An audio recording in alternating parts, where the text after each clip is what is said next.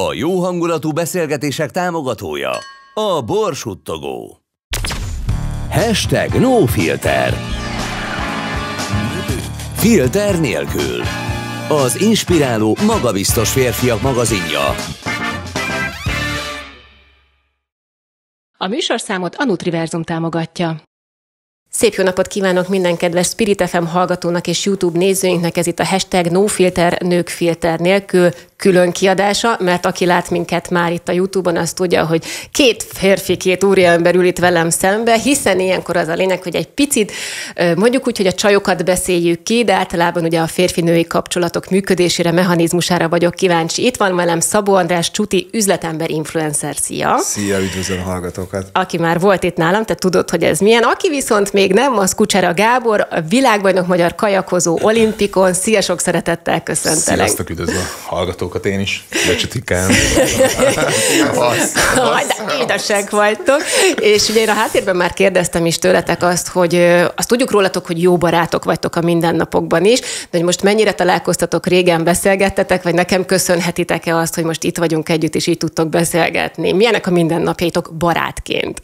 Hát most alapvetően neked köszönhetjük, hogy itt vagyunk, mert mind a kettőnknek most olyan időszaka van, ami munka szempontjából megköveteli a, az ott tartózkodást. Ugye Gabi csinálja a kucsitanyát, én meg most pont egy ilyen erős forgatási időszakban vagyok. De hát kapcsolódva az eredeti kérdésedhez, hogy, hogy amikor kellett beszélnünk, akkor, akkor teljesen egyértelmű volt, hogy beszélünk, amikor azt éreztük, hogy a másiknak szüksége lehet a másikra, akkor talán mondhatom Gabi nevében is, hogy félredobtunk mindent, és azonnal a másik rendelkezésére álltunk, ami egyébként teljesen természetes volt.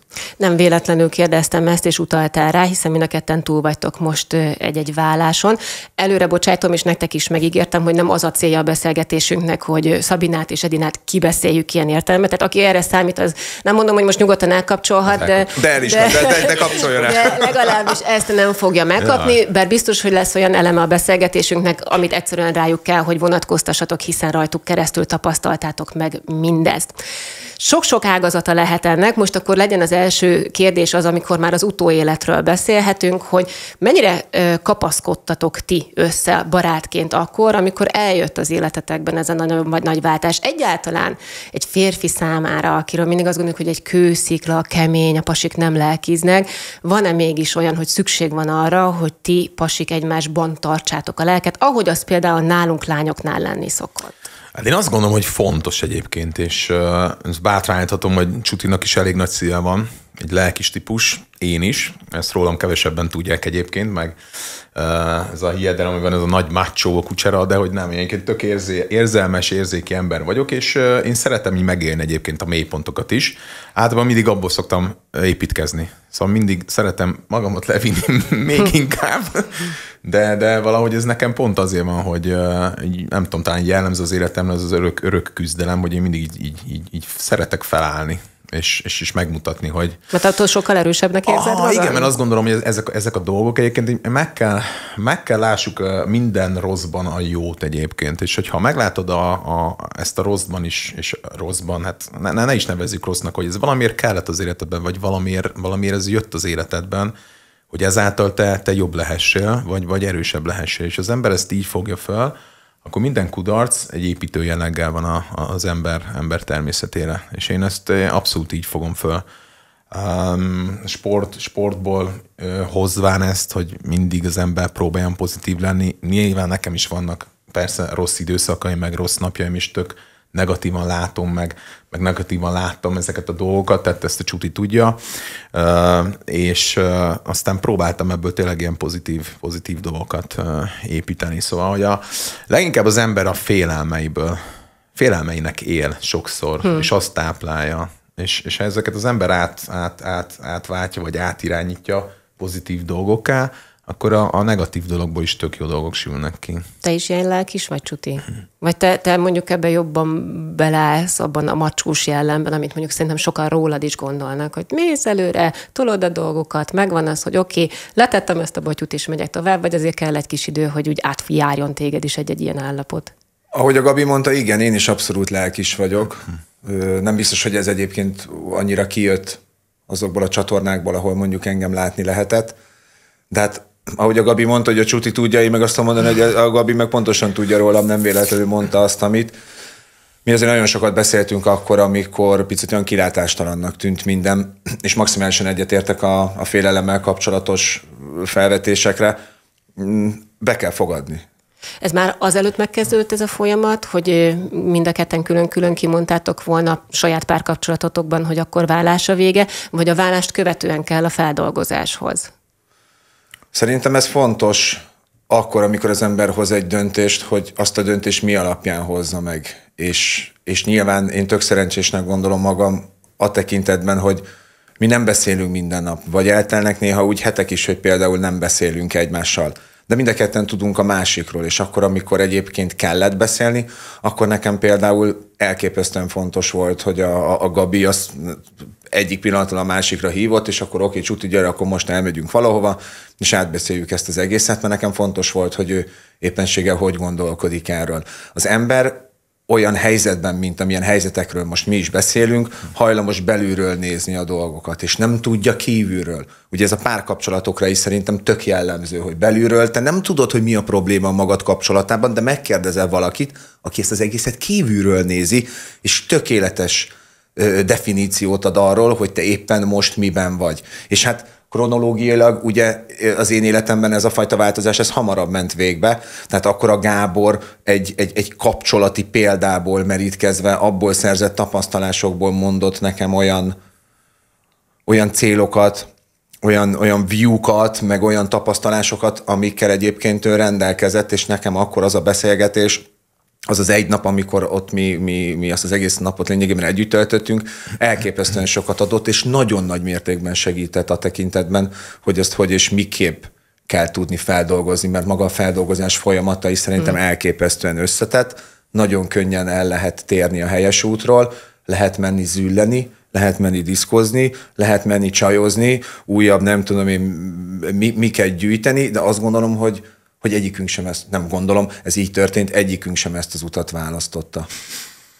Ez, ez így van, és igen, azt gondolom, hogy sokan, és ez egy, ez egy nagyon jó, hogy pont egy említette a Csuti, nagyon sokan erre indulnak el inkább buli, csajozás, uh-huh. én azt gondolom, hogy szerintem ez a legrosszabb út ilyenkor. Amit, igen, amit mondtam ember, is volna, igen, hogy azt azért köztudott, hogy, hogy mi a nőnél mondjuk többnyire a feldolgozás folyamata, meg mondjuk a férfiaknak köztudott, de lehet, hogy sablonos vagy sztereotíp, ezt nem én akarom mondani, hanem nagyjából ez ömlik ránk vissza. De én azt gondolom, ez is ilyen, szerintem ez ilyen Hát korfüggő. Meg talán, embere válogatja. Ember, talán az, hogy ér, lehet, hogy 15 évvel ezelőtt azt csináltam volna, hogy de, akkor gyerünk indulás, buli, csajozás, jó, nyilván akkor ez megint más, hogy egy, egy párkapcsolatból lépsz ki, vagy, vagy elválsz. Szóval uh-huh. az, az, szerintem az, az megint egy, megint két különböző, két különböző, dolog, két különböző dolog, de de én például azt, azt, azt, azt mondom, hogy inkább ilyenkor az embernek tényleg el kell vonulni egy kicsit, nyugalomba lenni, és csak saját magára összpontosítani. Senki, senki másra, senki másra, csak magával, és ilyenkor kicsit így önzőnek kell lenni, és,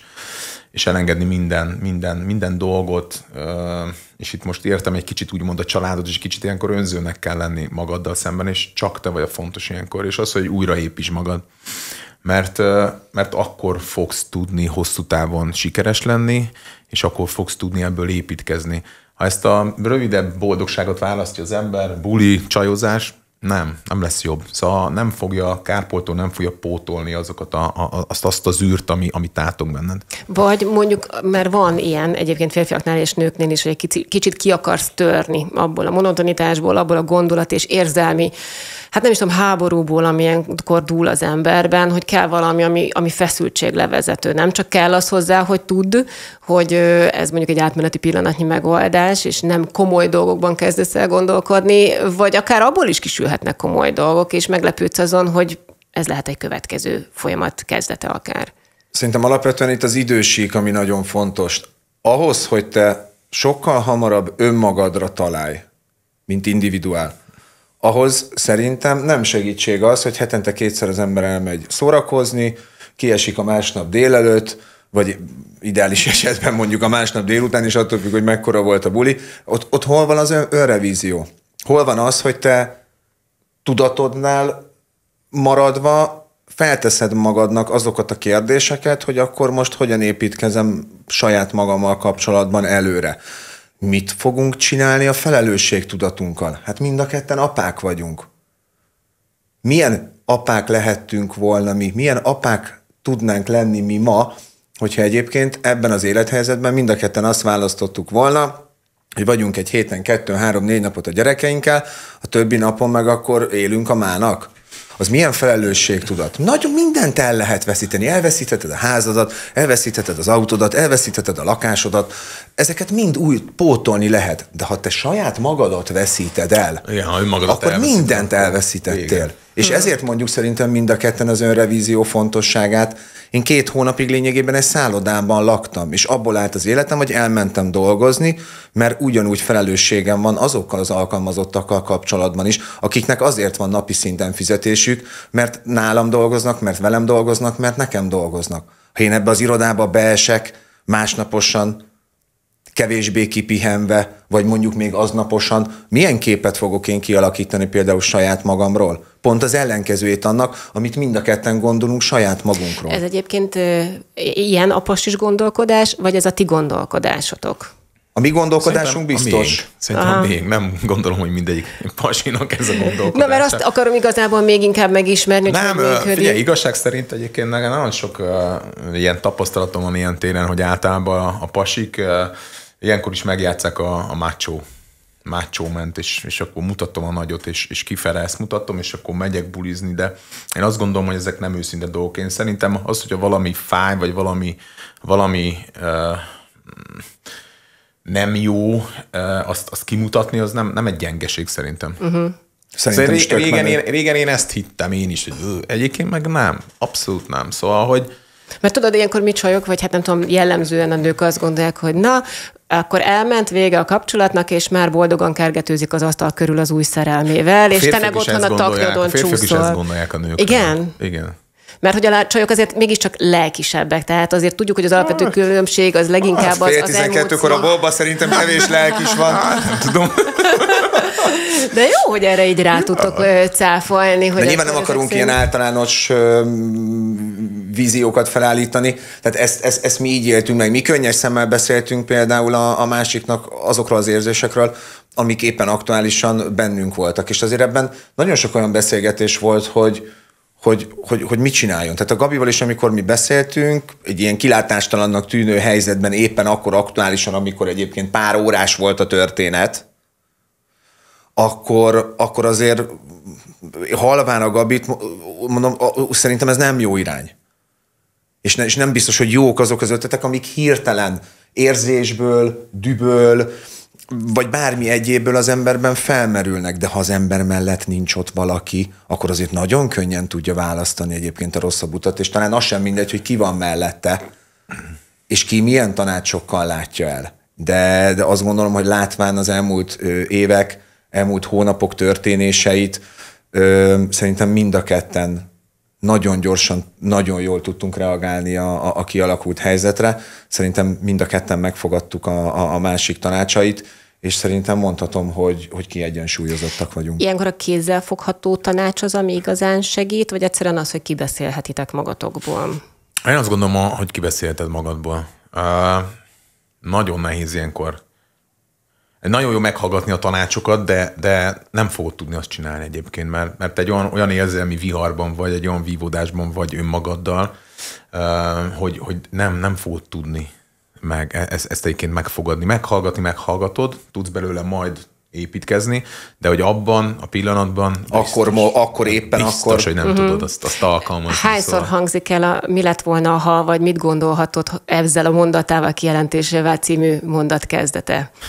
Én tudom magamról, hogy vajon ezzel most mire gondolt, mire utalt, de, de ott mondott egy olyan szót, ami esetleg reménykeltő lehet, vagy legalábbis más színezetet ad ennek a mondatnak, akkor fejtsük meg ezt pontosan, vagy ennyire azért nem szoktatok lemenni még. Ennyire nem. E, Ennyire azt gondolom azért nem. Nem, nem kell lemenni, nincs értelme ennyire azért lemenni szerintem, hogy mi mindenben, mindenben valamit keressünk. Én például akkor, amikor, amikor nekem nagy szükségem volt a, a Gabira, akkor én például ott a, a fürdőben nagyon sokszor éreztem, hogy beszélek, beszélek, beszélek, beszélek, beszélek, és amikor a Gábor ugye ezekre válaszolt, hogy elmondta, hogy ő erről mit gondol, akkor persze ez implementálódik az emberben, de hogy halad előre a helyes úton, bizonyos élethelyzetekben jöttek elő nekem például azok a tanácsok, azok az ötletek, azok a mondatok, amiket mondjuk a Gabi mondott. És akkor az egy nagyon jó felütés, hogy ó, nem arra, erre, és uh-huh. hogy úristen, emlékszem, hogy nekem akkor azt mondta. Gábor kapcsán is például beszéltünk arról, hogy műsorok, mit vállaljon, mit ne vállaljon, menjen, ne menjen, jó lesz, nem lesz jó, mit fog ez gondolni, mit fognak ők gondolni, és akkor jött, az elő, amit egyébként most a, a Gabi is mondott, hogy meg kell találnod önmagad. És ahhoz lehet, hogy arra van szükség, hogy én mondjuk elmenjek a, a, a farmba, és 30 nem tudom hány napot ott töltsek, és legyen kellő időm egyébként saját magamra, szakadjunk ki egyébként mindenből, és én azt gondolom, hogy akkor, amikor a, a Gábor egyik ő, hamarosan látható műsora kapcsán is beszéltünk róla, akkor én maximálisan támogattam a Gabit abban, hogy Gabi, ezt el kell vállalni, el kell menni, meg kell csinálni, ha van rá lehetőség, akkor minél, to- minél tovább kell maradni. Tessék, és ki is, most ki is rázta a hideg, és el is vállalta. El is vállalta, és akkor, amikor visszajött és beszéltünk, akkor, akkor egy teljesen új Kucsera Gábor volt például velem szemben az iroda folyosóján, amikor beszéltünk. Na és olyankor, amikor feladat van és teljesíteni kell, akkor tényleg jó arra, hogy kikapcsoljon, vagy túlé, túlélésre játszotok? Vagy te például túlélésre játszottál? Tehát amikor az ember egy ilyen érzelmi viharban van, akkor az hatással van a gondolataira, a cselekedeteire. Igazából otthon akarsz lenni, beburkolózva. Otthon. otthon. Hát azért nekünk volt olyan időszakunk, amikor nem nagyon volt otthon. Igen. És ez is például egy olyan markáns témája volt a beszélgetésünknek, hogy hol, hol lesz az otthon. Változik ilyenkor az embernek az önmagáról kialakított képe? Persze. Mi az, amiben mondjuk ezt is személy szerint megéltétek? Gondoltál addig valamit magadról, vagy akár a házasságról, mint intézmény, és ez alapjaiban renget meg? Nem, szerintem ez egy rossz hozzáállás az, hogyha ha most ugye a házasság vagy a vállásra gondolunk, hogy az kudarcként éli meg az ember. Szóval szerintem nem szabad kudarcként megélni. Ez nem kudarc. Abszolút. Szerintem. De mit hozott ki belőle például? Azt mondtad, nyilván hogy más lettem, nyilván, nyilván egy csomó mindenben más lettem, máshogy láttam, csomó mindenben megerősödtem, meg azt gondolom, hogy ezt lehet jól csinálni. Én most azt gondolom, hogy ezt a Szabinával egyébként tök jól csináljuk. És kb. szerintem ugyanannyit vagyok a gyerekekkel egyébként. Szóval és, és tök jó minőségi időt töltünk a gyerekeinkkel van, hogy külön, van, hogy, van, hogy együtt, van, hogy megbeszéltük, hogy legyen egy, egy, egy, egyszer, kétszer, két pár hetente legyen egy nap, amikor együtt megyünk el valamerre a gyerekekkel és, és ez egyébként tök jó működik is a gyerekeknél is. is jó működik. A személyiséged változik ilyenkor, vagy egyszerűen bizonyos ö, helyzetekre adott reakciója változik az embernek? Én nem hiszek abban, hogy az ember alapvetően képes változni, vagy egy iszonyatosan hosszú folyamat. Szerintem, szerintem, szerintem az ember tud változni, és, és tud a hibáiból tanulni. Én nagyon sokat változtam egyébként így az évek során. Szóval, hogy ez is szerintem ez, ez is egy ilyen folyamat volt már, ami így elindult, szóval, hogy ez a, az a fel, amikor így, így felvilágosodsz, hogy úristen, hogy te, te, te mégse jó helyen vagy, vagy hogy megvan mindened, de nem vagy boldog. És akkor, akkor lépni kell. Na jó, de az nem a te változásod, hanem az pont a helyzet, nem? Hogy, hogy azt mondod, hogy de megvan nem, mert te, De nem, mert na, igen, ezt Vagy az, hogy azt, azt értéke, vagy mit jelent számodra a boldogság? Például, hogy mit vársz a boldogságtól? Nem, nem is az, hogy mit várok a boldogságtól egyébként. Újra kell szerintem nagyon sok minden definiálni ilyenkor. Én azt gondolom, hogy igen, változunk, és, és, és mind a ketten változtunk, de az, ezek azért nem olyan tulajdonságok, amiknél lettek volna bennünk csak ez a szituáció hozta ki. Igen. És akkor egyébként egy nagyon jó felismerésed saját magaddal kapcsolatban az, hogy úristen, én, én ilyen vagyok, csak nem jött ki, Úristen, én ennyire bújós vagyok, csak eddig nem jött ki. Úristen, én tudok így reagálni bizonyos szituációkra, csak eddig nem jött ki. Tehát tehát változunk, de nem úgy változunk, hogy totálisan megváltozik a személyiségünk, hanem előtörnek belőlünk azok a személyiségjegyek, amik az ezt megelőző időszakban mondjuk nem törtek elő, mert nem voltak olyan élethelyzetek, ahol ennek mondjuk ki kellett volna csúcsosodnia. Mondjuk, hogyha az általános konklúziót kell vonni, akkor mi az, amire azt mondjátok, hogy tanultatok belőle, és biztos, hogy a következő kapcsolatban már másképp fogjátok csinálni, ilyen nagy tanulságképpen? Ne, nekem biztos az, hogy kommunikáció, Egyetértek. Mm. Az Mi? nehezen ment nektek kapcsolatban? Mm. Nekem igen. Én nagyon bezártam. Azzal a szempontból, abból nem, a szempontból, hogy a problémáról beszélni? Hát én mindig, én mindig konfliktus kerül ember voltam, és nagyon sokszor inkább magamban lejátszottam ezek a dolgokat, és kb. mint ez a vulkán, hogy tűrtem, tűrtem, tűrtem, és akkor egyszer csak így bum, na akkor ne legyen ott senki. És ez rossz. Mert rájöttem abban is, hogy magamban hordozom azt, amit, amit nem kéne, amit ki kell adni mert az csak, az csak nekem rossz, hogyha magamban emésztem, meg, meg meghányom, meg kiköpöm, meg vissza, meg ú, nem, és ez nem. Ezt én nagyon megtanultam, hogy ha, ha bármi problémám van, akkor azt, azt elmondom. Ha a másiknak esetleg fáj is, vagy, vagy, vagy, vagy rosszul kommunikálom, de, de ne legyen bennem ez a, ez a, ez a tüske, hanem, hanem ez, ez, ez, ez jöjjön ki. Ezt, ezt nagyon-nagyon megtanultam egyébként így a kommunikációt, odafigyelni a másikra, szóval ezek, ezek, ezek a dolgok, ezek így, így, így, ezek így kihozták bennem. Szóval ezek tudom, hogy bennem voltak, csak az évek során ezek eltűntek. Eltűntek belőlem. Én nagyon-nagyon bezártam ebben, uh-huh. a, mhm. ebben a kapcsolatban, és, és nem tudtam kifele se érzelmeket adni, se nagyon kommunikálni. Meg egészen és... más, Gabinak egészen más önrevízés folyamatai voltak, és akkor, amikor ő egyébként egy picit úgy ebből a ha ezt mondjuk egy ilyen körként tudjuk definiálni, akkor ebből a körből kilépett, kívülről egyébként, tehát ott volt a körnek a peremén, de az nem volt de az nem volt minőségi önrevízió, és nem volt minőségi idő, amit ő egyébként azzal töltött, hogy saját magában megvitassa az éppen aktuális kérdéseket. Tehát ezzel például már megvoltál addigra, és tudtál neki ebben segíteni? Igen. Igen, de nagyon nagy segítségre nem volt szüksége a, a Gábornak.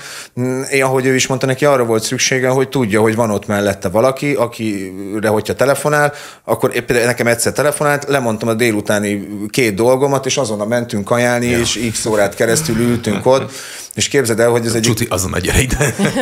A, és, és hogy az étteremben is, hát az óriás volt, mentünk ketten, és az étterem hát legvégső pontján mondták, hogy figyelj, ide üljetek, mert ahogy bejöttetek ketten, már mindenki már egyébként titeket nézett. fotós, uh, fú, menjünk. Pont a hátat közepére És ültünk, és nem, nem tudom, két-három órát tronoltunk egy kaja fölött, és, és hosszasan beszélgettünk, és mondtam, hogy én mit csináltam, én hogy csináltam, mit csináltam, mi mentem keresztül, én miket éltem meg, te, hogy mit, stb. És szerintem, puf, neki szerintem nagyjából, nagyjából ennyi előg volt, és nagyon gyorsan, nagyon gyorsan összerakta magát. Igen, nálam nagyon nagy vívódás volt az például, hogy, hogy Ázsiába a műsorba elmenjek. Szóval, hogy nekem az úristen, az nagyon nagy volt. Szóval akkor borult a Billy, akkor lett rám borítva szépen minden, és akkor én másfél hónapig csak kaptam, kaptam. Hát ilyen 400-500 cikk volt rólam. Ja, igen, szóval, tehát, hogy nektek van ugye még egy fontos tényező az, hogy a nyilvánosság is hát ebbe egyszerűen belekúszik. Nagyon-nagyon-nagyon kaptam, és én addig úgy éreztem, hogy megint felépítettem valamit, felépítettem a kucsitanyát, felépítettem dolgokat, szóval egy tök jó úton voltam, és ez, ez, ott, az ott nagyon kisiklasztott ez a, ez a, ez a, ez a másfél hónap.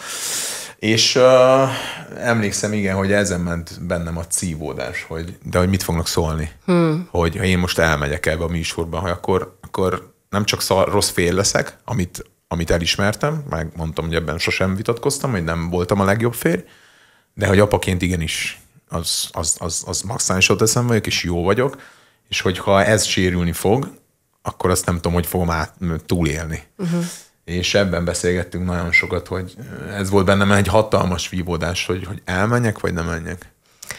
Az utolsó kérdés az első fél időben, csak hogy stílszerű legyek. Könnyek ilyenkor vannak? Vannak.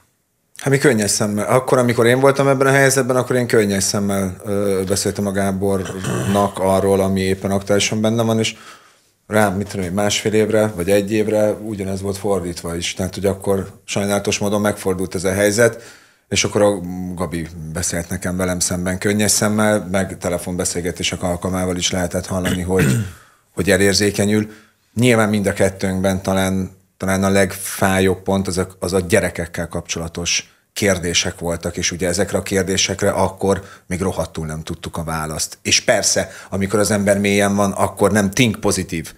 Jaj, de majd ez jó lesz, jaj, de majd akkor nem, nem, nem lehet jó nem lehet jó, mert nem lehetek annyit egyébként velük, és akkor ezek azért nagyon idegörlő és lelkileg nagyon fájó témák, de ki kellett őket beszélni, és, és, és, és most meg már tök jó minden. Elmegyünk egy gyors, rövid szünetre, és utána folytatjuk a beszélgetést Szabó András Csutival és Kucsera Gáborral. A műsorszámot a Nutriverzum támogatja.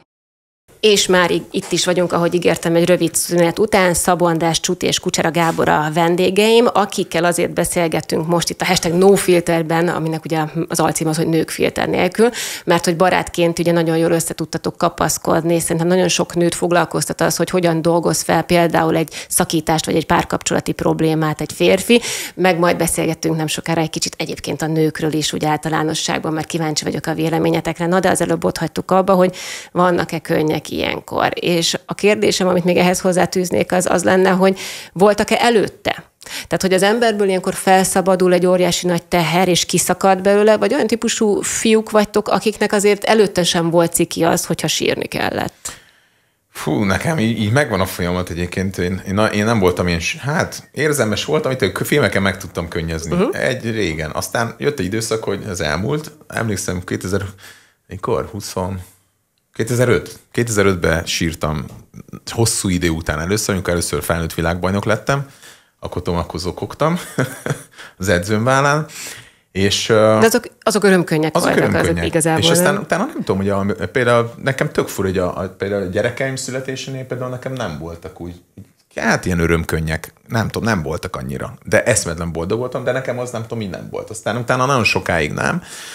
És utána, utána így, így szerintem ilyen érzelmi változáson mentem át, amit mondtam, hogy nagyon bezárkóztam, és nekem ez talán így az jött, hogy így kinyíltam, és akkor, akkor voltak. A következő nagy, nagy nagy sírós jelenet, ez a farm volt. az, az egy ország látta. Amikor megjöttek a, a gyerekek, megjöttek, megjöttek, a, megjöttek a, a gyerekeim a döntő előtt, hát én ott, ott kész, ott, ott kikészültem.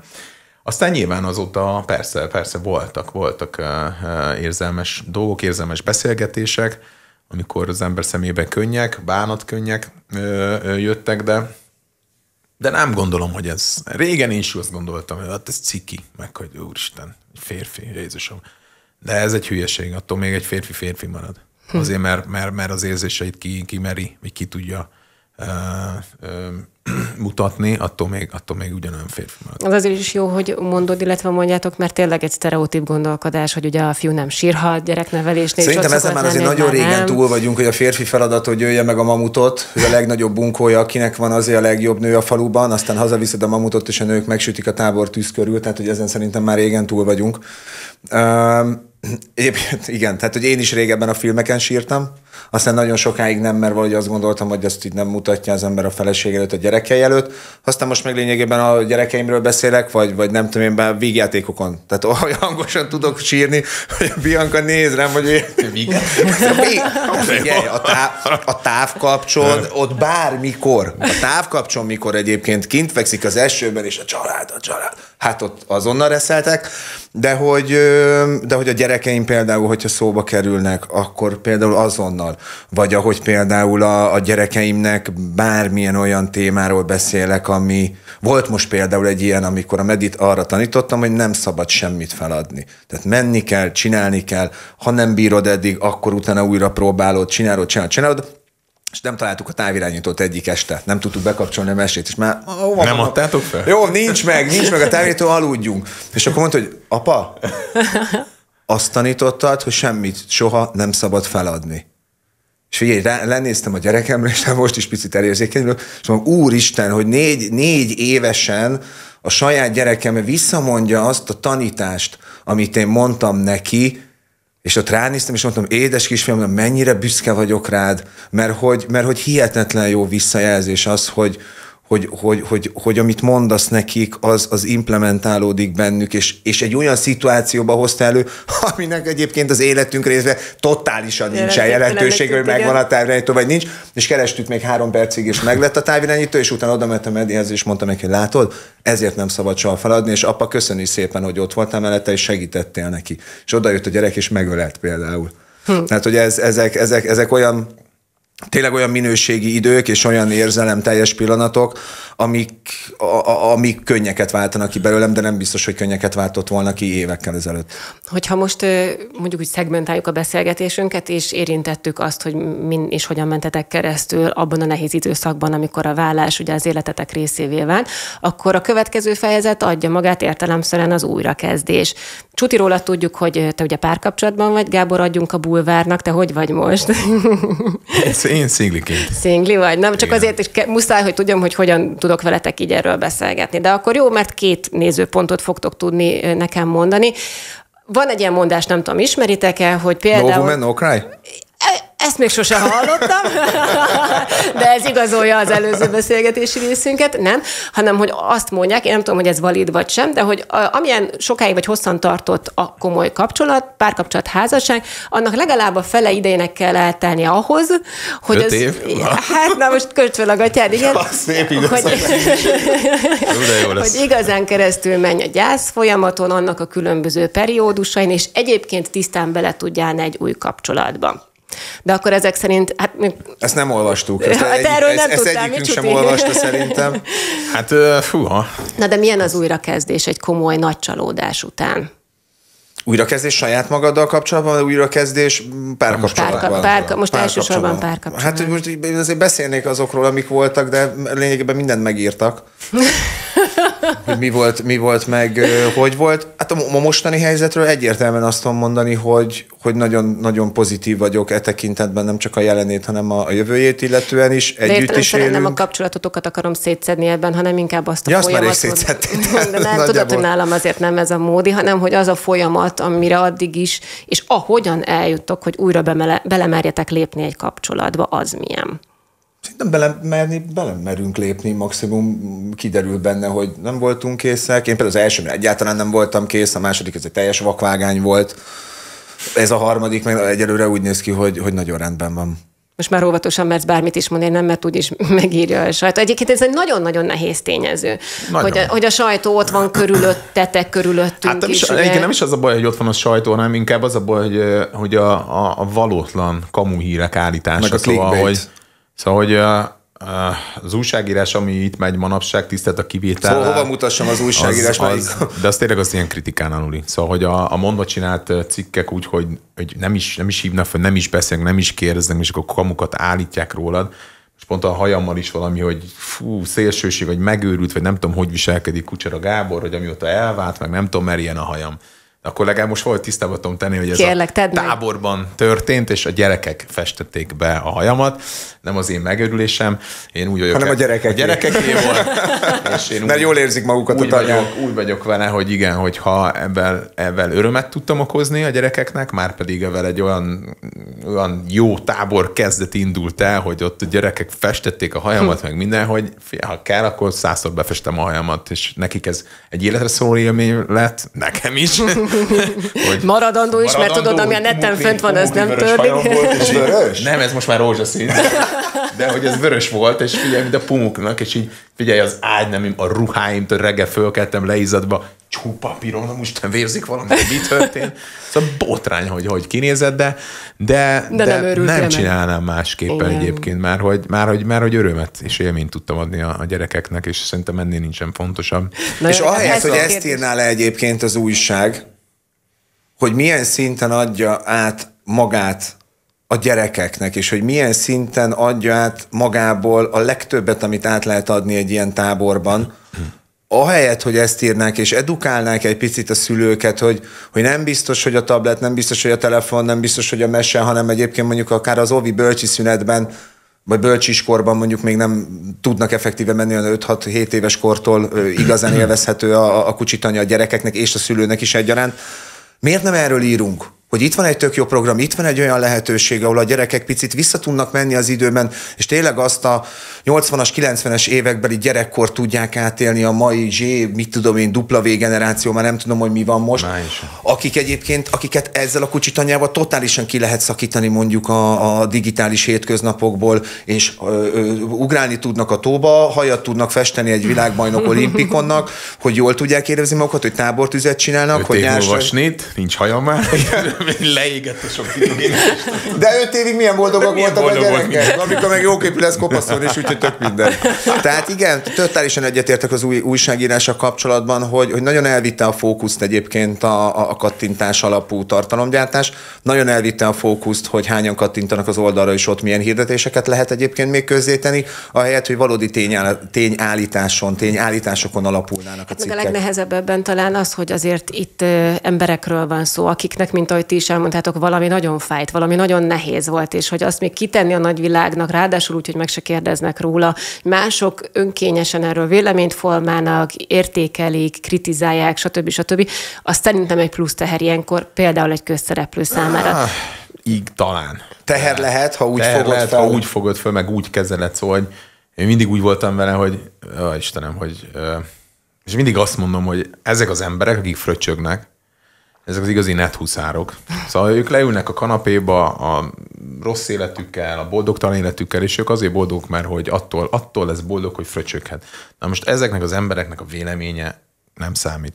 Én azt gondolom, hogy meg kell tanulni, ha az ember közszereplő, vagy akár én a sportban is, hogy, hogy van egy szűk réteg, az a családod, akinek, akinek számít a véleménye és csak az számít, meg az, hogy te uh-huh. hogy érzed magad, és a többi nem számít, mert nem evel az emberrel, nem evel a több ezer emberrel fogod egy lakásban megélni a pillanataidat, vagy az álmaidat, és ott nézik a kanapén, hanem azt, azt ketten fogod megélni. Nem is lesznek ott ezek az emberek nem akkor, amikor szükséged ott. van valakire? Igen, ezek az emberek abszolút nem lesznek ott, amikor neked szükséged van valaki, valamire, illetve ezek az emberek soha nem fogják merni a szemedbe mondani, uh-huh. hanem az arcodban, szemedbe veled jópofiznak, a hátad mögött pedig és nem is ismernek. És Tehát, nem fogalmuk nincsen szóval egyébként róla. Annyira nem, nem szabad az ilyenekre hagyni. Azokról az emberekkel le kell foglalkozni, hogy olyanokra, akik tényleg pozitívan állnak az oldalodon, és pozitív kommentek, azokra tök jó válaszolni, az neki is jó esik, az téged is egy tök jó visszajelzés, ezek jók, de, de ezeket a negatív, negatív embereket, meg dolgokat én azt gondolom, hogy az ember minél hamarabb, meg minél jobban ki tudja zárni az életéből, annál boldogabb életet tud élni. Na nem hagyom, hogy nagyon eltereljétek a ne témát, mert, mert, csak azért, mert Elmentünk. engem ilyenkor nyomasztod a műsoridő, amiben szeretném a nagyon nagyon sok, nagyon vissza, fontos kérdés. Igen, vissza. De, de... Akkor én az nem, én félek tőle. Szóval egy én, ugye Csuti mondta kezdés? neki már, van, ah, igen, én most, én most úgy vagyok vele, hogy, hogy nem, nem, nem, nem. Egy... De mitől félsz? Nem, akkor? tudom. Én most a, én úgy vagyok vele, hogy most önmagammal kell foglalkozni. Szóval, hogy saját magammal kell, kell foglalkozni. De hiszel abban, hogy vállalatlan, hogy mondjuk kilépsz itt a stúdió ajtaján, és beléphet a nagy ő az életedbe, vagy nem. ez ilyen... Mondjuk klímaszerelés közben? Például. Nem, nem, nem. nem. Tehát, hogy ez nálad egy annál sokkal tudatosabb folyamat lesz, hogy te választasz, azt választod, akit szeretnél. Nem, a, én azt gondolom, hogy nem én választok, majd a sors, nem tudom. Szóval hogy tényleg az, hogy, hogy majd, majd eldönti, nem tudom. Én most úgy vagyok vele, hogy amíg, amíg magammal, mert azért nekem ilyen hullámvölgyeim vannak, én nagyon-nagyon jól éreztem magam, meg lezártam mindent, amikor kimentem Ázsiába, utána, tök jó, hogy mondta, hogy Csut hogy teljesen más ember jött haza, aztán azóta kicsit úgy, úgy megint így kicsit úgy kisiklott a történet, és akkor most így megint, megint kezdek magamra. A... Foglalom az asztalt, Gabika. Na, magamra, és nem áruljuk el, találni, hova mentek és, és azt gondolom, hogy ameddig, ameddig százszerzelékosan nem, nem tudok felépíteni magam, vagy nem tudok százszerzelékosan jól, jól érezni magam, vagy, vagy, vagy boldog lenni, nem tudom mi a megfelelő, addig, addig, addig szerintem nem is szabad nekem, nekem párkapcsolatba a, a lépjek senkivel. Nekem ezt így megtapasztaltam, hogy sajnos egy, egyik kapcsolatból a másikba átugráltam sokszor, és nem zártam le még a, még a múltat, és ez megmérgezte a, a, az akkori kapcsolatomat is. És én ezt, és ezt nem szeretném meg nem hagyta a tatár, szóval hogy most már... Mert szerintem időt sincsen most Isten igazából rá, tehát hogy vagy a tanyám, vagy, vagy a gyerekekkel vagy, tehát hogy hova raknál be egy hát minőségi igen, kapcsolatot? szóval hogy nekem most így, így, igen, azt gondolom, hogy ha, ha lenne, megoldanám nyilván, mert hogy... Mert Na, hogy... ezt akartam mondani, hogy Csuti átvetted a szerepemet, mert ez meg majd a következő Elnézést. téma, hogy ugye kettő-három gyerekes apaként, utána egyáltalán az ismerkedés, hogy mert nem, nem úgy mondtam, de hogy félreérne is, de akkor engedjétek meg gyorsan még téged is hadd kérdezzelek róla. Ugye másfél-két év, most mikor volt már az, hogy külön menthetek, és most hirtelen ö, talán két kapcsolatról is említést tettél. Te az voltál, aki menekült? Tehát neked kellett az, hogy egy picit felold azt az érzelmi nyomást, mert vagy, vagy úgy gondoltad, hogy tudtad azt, hogy sebb tapasz, az átmeneti megoldás, és mondjuk még korrekt is voltál a folyamatban, hogy ezt mondjuk a másiknak is elmondtad, vagy úgy gondoltad, hogy te tényleg kapcsolatra lépsz, és ebből lehet akár valami komolyabb is, vagy ilyenkor ezzel nem foglalkozik az ember. Nem tudtam, hogy mi lesz ebből, eltelt jó, pár, eltelt jó pár hónap, mire én egyáltalán csak egy, most nagyon bagatel példát fogok mondani, bármilyen mondjuk social media üzenetre reagálni tudtam nőknek. Több hónap eltelt, pedig azért elég exakt fotók, videók. Ezeket meg nem is osztottuk egymással, amivel néznek. Én azt nem hiszem el, hogy neked nem. Volt olyan is, aki mindkettőnknek. Tehát rövid idő elteltével ide is ment videó, meg ide is ment videó. Nem írnak, nem tudom mi de, de akkor, amikor én beleléptem a, a a kapcsolatban azért léptem bele, mert jól éreztem magam benne. De, de nyilván most már utólag visszagondolva egyáltalán nem voltam készen egy ilyen kapcsolatra.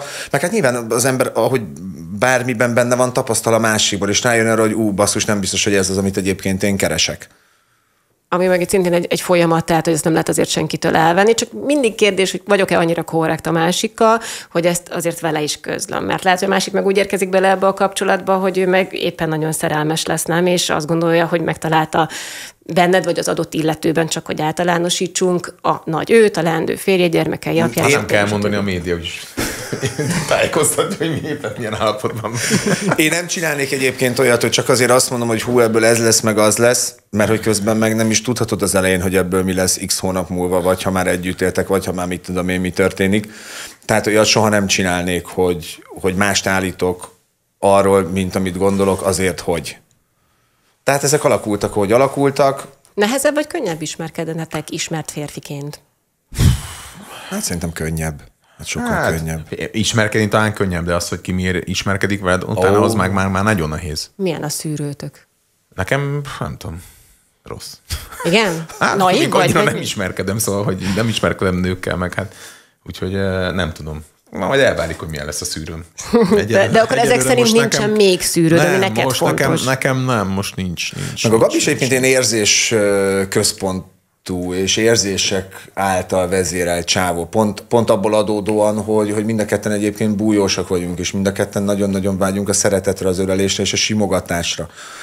Tehát szerintem benne is majd egyszer csak lesz egy hang, ahogy bennem is volt, hogy ú, ez, ez valamire azt gondolom, hogy működni fog. Aztán persze simán kiderülhet, hogy rosszul gondoltad, de szerintem ilyen exakt szűrőket felállítani, hogy ennyi éves, ilyen lakos, ilyen végzettségű, ilyen kapcsolat, hogy szerintem az, az nagyon nem jó. Én hittem, hogy ez működik, de egyébként bebizonyosodott itt közel 40 év alatt, hogy rohadtul nem működik. Hát igen, és én például ezt tudom, hogy én például nem arra vágyom már, hogy, uh, hogy most itt a, a vállás után én most elkezdjek csajozni, és, és pörgessem a, a, a nőket, és akkor megint izé, strigula, strigula, strigula. De hát nem, soha nem is volt ilyen időszakod, úgyhogy... Hashtag irónia. és, Jó, és... én az vagyok, felmentelek titeket ebből, várjál, aki azt mondja, hogy szerintem egy férfinak meg kell élni ezeket. Tehát mm. még egy nőről ezt nem mondom, mondjuk azt mondom, hogy szerintem a férfinak meg kell élni Igen, azt, azt, azt gondolom, hirtelen hogy... sok impulzust, ami a, a kajlaságából jön, mert hogy a későbbi érőség miatt azért szerintem az én benne később érő típus vagyok, és igen, sok mindent átéltem, sok mindent megéltem, de, de, nekem de már nem ez, erre vágysz. De nekem pont ez, ez szóval ett, ettől lettem, ettől forrottam, kettől lettem egy olyan személyiség, meg sok mindent megtapasztaltam, és sajnos mindent a saját bőrömön tapasztaltam meg. Van ez a típus, én bárki bármit figyelmeztetett, nem. Hm. Magamnak kellett mindent átélni, de ez pont jó volt, mert, mert a, a, a sikerek, a bukások, a kudarcok, azok, azok, azok, azok formálják az embert, és azok, azok, azok, azokból nekem volt elég sok sikerből, kudarcból, amik formáltak, és tökre úgy vagyok vele, hogy abszolút nem erre vágyom már egyébként, meg nem ezt a nem ezt szeretném mutatni a, a gyerekeimnek, hogy apa minden nap más, más nővel uh-huh. van, meg, meg, meg abszolút, szóval hogy például ettől tökre óvom, meg féltem őket, hogy nem is nagyon szeretnék senkit bemutatni nekik, sokáig még. De hogy én abszolút tényleg egy, ilyen, ilyen, tényleg egy normális, higgadt kapcsolatra vágyom, amivel azt gondolom, hogy itt talán életem végig is el, ellennék. Na mennyivel nehezebb azt egy édesapának megtenni? Akkor ezek szerint ebben neked még nincs tapasztalatod. Ez is volt egy kis irónia, de mondjuk nincsen. De akkor Csuti, neked viszont van. Tehát, hogy mondom, hogy miért kérdezem. Jó, mondjuk ugye nálam az van, hogy egyedülálló édesanyja, tehát hogy az megint egy másik típusú, amikor nem mondod azt, hogy az anyukánál vannak a gyerekek, most van legalább két-három napom vagy egy szabad hetem, amikor tudok igazán magammal foglalkozni. De azért vannak vívódások, hogy ú, most találkoznál a másikkal, jaj, de szeretnél elmenni vele eltölteni két napot, egy hetet, nyaralás, megnézni, milyen a másikkal, hiszen egy kapcsolatot működtetni kell, tehát az nem csak egy-két dologból áll, hanem azért az rengeteg apró tényezőből tevődik össze. Milyen volt így a tapasztalatod? Voltak-e vívódásaid ebben? Egyáltalán az elfogadás a másik fél részről, hogy mondjuk te egy kétgyerekes édesapa vagy. Hát mások mit gondolnak rólam, hogy két gyerekes apuka vagyok, azt nem tudom. Az, az, az lehet, hogy tőlük kellene megkérdezni, hogy ők mennyire egyszerűen vágnak bele, vagy mennyire egyszerűen vágnak bele velem egy kapcsolatban, tudván azt, hogy, hogy vannak gyerekeim, akik mindennél fontosabbak számomra. Saját magam szempontjából pedig azt gondolom, hogy, hogy el kell telni egy időnek ahhoz, hogy az ember késznek érezze a kapcsolatát arra, hogy mondjuk bemutassa a gyerekeinek. Tehát ez, ez teljesen egyértelmű, és maximálisan egyetértek a Gáborra, hogy, hogy most csütörtökön egy, egy mozi után nálad alszik valaki, akkor pénteken biztosan az az első dolgot, hogy, hogy gyere, akkor menjünk át a, a gyerekekért, vagy gyere el velem az oviba, vagy gyere el velem a bölcsibe. Tehát ez a, a, a idő. Ez, ez muszáj a gyerekek miatt, hogy, hogy ne az legyen, hogy Hát valaki, a, valaki a, apátok, nem? apátok gyerek, hát, minden héten az, az, az más, minden, minden héten más az, az a de éppen szerintem ez is kommunikáció kérdése, tehát hogy ne törjünk pálcát azok felett sem, akik meg esetlegesen eképpen vannak jelen, mert, mert le, le, lehet, hogy lehetnek olyan életkorban a gyerekek, ahol ezt már mondjuk el lehet mondani, lehet másképpen definiálni azt, hogy apa éppenséggel miben van, vagy miben nincs, de de én ezt, nem ezt a részét gondolom ideálisnak és helyesnek, hanem azt, amit a Gabi is mond, hogy, hogy igen, el kell tenni a kis időnek ahhoz, hogy az ember késznek érezze a kapcsolatát arra, hogy a gyerekének bemutassa, és hogy integrálja azt a szemét és azt a párkapcsolatot, mert egyébként ez élesen különbözik egymástól. Tehát, hogy lehet, hogy ti együtt vagytok egy házban, egy lakásban, egy kertben, egy strandon, egy bárhol, ahol ott van a szíved választotja, meg ott vannak a gyerekek is, de nem kapcsolatként funkcionáltok. Nem érsz hozzá, nem puszilod meg, nem csókolod meg, nem öleled át, nagy Isten észre sem veszed, hogy ott van, mert annyira mondjuk a gyerekekre fókuszálsz. Aztán jön a level 2, amikor már a gyerekek előtt megfogod a kezét, megöleled, megpuszilod, megcsókolod, összebújtok, és egyébként ezt a, ezt, ezt a gyerekek látják, és egyébként az a, az a személy, coach, pszichológus, aki ez most már hála jó Istennek egyre kevesebbet kell járni, és azért hála jó Istennek, mert már nem kell saját magam miatt annyit járnom, mint eddig. Ő is ezt mondta, hogy az a gyerekeknek nagyon-nagyon pozitív flow, és egy nagyon jó leső érzés, amikor egy, amikor egy olyan otthonban vannak, egy olyan programon vannak, ahol átjárja a hm. programot a, a szeretet, és látják az, a, látják az apán, hogy boldog, hogy megöleli, hogy megpuszíja, hogy őt viszont puszíják. Ezektől az, ő is azt mondta, hogy nem szabad félni, és ezektől nem szabad tartani, mert a gyereknek ez tök jó a személyiségfejlődése szempontjából, hogyha ezt látja. Hogy szeret apa, és viszont is szeretve van. Ez implementálódik bennük, és ki tudnak alakítani pozitív érzéseket a gyerekekben. Neked egyébként ez fontos Fülye kérdés egyébként miért ne lenne fontos, de van benned egy elképzelés, hogy mondjuk mennyi időt adsz arra, hogy egy kapcsolat kiforja magát, és mennyi idő után mutatod be például a gyerkőcöket?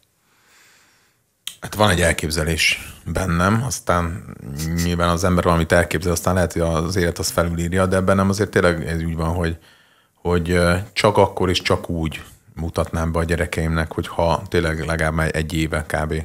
kb. így együtt vagyok vele, és tudom, hogy, hogy ő az, illetve, illetve tudom azt, hogy a, a gyerekeimet elfogadja.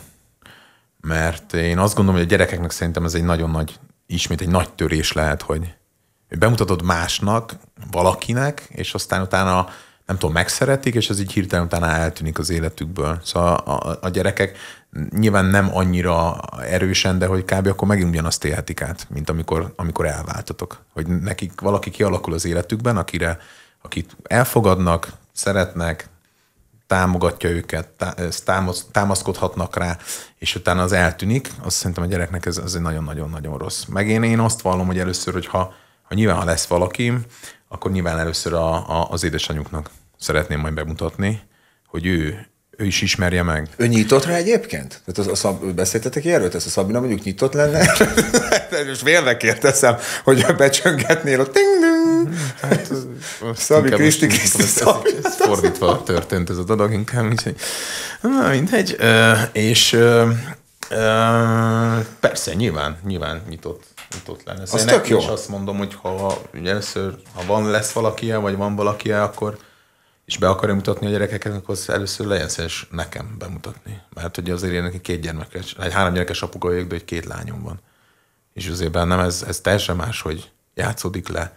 És szerintem teljesen más, ha én bemutatom egy, egy, egy, egy nőnek a gyerekeimet, vagy a, a páromnak, mint, és a két lányomat, meg a fiamat, mint hogy ő bemutatja egy, egy férfinek. Uh-huh. Szóval hogy bennem azért ilyenkor azért, azért sok minden előjön, hogy egy vadidegen férfi azért ne, lányok, szóval hogy ilyenkor azért Jönnek sok a minden. jönnek Igen, a szóval jönnek a, jön, a, jön a kombináció, szóval hogy az, az, az, szerintem az megint más. Szóval én, én így vagyok ebben a, a történettel, hogy először szerintem Szerintem fontos, hogy a, a másik, másik fél is megismerje, és akkor utána, utána a gyerekek. Ez egy nagyon-nagyon fontos kérdés szerintem, amit te most elkezdtél boncolgatni. Bennem az szokott leginkább ilyen felmerülni. Az a férfi, akiről mondjuk tudod, hogy apa és adott esetben lányos apa, megcsinálja veled nőként azt, amit megcsinál, mert mondjuk az neked nagyon fáj, nagyon tragikus, úgy érzed, hogy becsaptak, hogy hazudtak neked, az egész csak egy színjáték volt.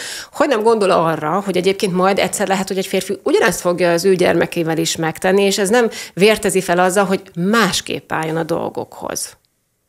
Vagy ebbe is meg kellett érkezni, ebbe az állapotba is, hogy hát az apasággal igazából jött ez az érzelem, vagy érzésvilág egyáltalán.